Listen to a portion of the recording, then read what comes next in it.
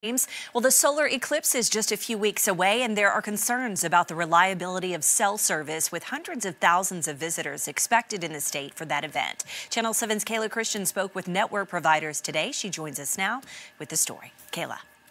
Yes, that's right. And while the cell phone companies aren't anticipating many issues, there are things to be out on the lookout for in preparation for the solar eclipse day and days surrounding.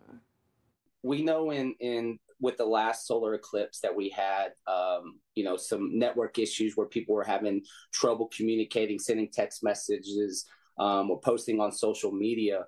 Um, but a lot has changed since then. 4G um, uh, is what we were running on with the last solar eclipse, um, and that that you know has about thousands of people that can be on the network at the same time. Now we're running on 5G, which essentially allows millions of people to run on the same network. Companies like AT&T and Verizon have been working for years to make sure service is sustainable not only through the solar eclipse, but any similar circumstance. We're very confident that the additional capacity we've layered into the network over the past few years will accommodate any increases in data usage. Um, just in particularly in Little Rock, we've added 32 new cell sites, new towers. According to experts, cell service slows down due to multiple devices battling to connect to the nearest cell tower. Since thousands will be packing into parts of the state, providers offered advice on how to be proactive. I think one of the most important things as a regular customer, uh, you know, from any network, but specifically for us,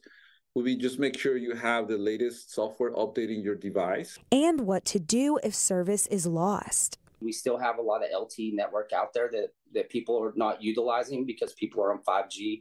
Um, in a time that it's congested, you can you can move back and forth between the networks uh, to fi- find connectivity. We're excited about this event. We're going to be out and about. We're going to make sure you know that we we have the capacity to to welcome everybody into our beautiful state of Arkansas and, and share the eclipse with as many people as we possibly can.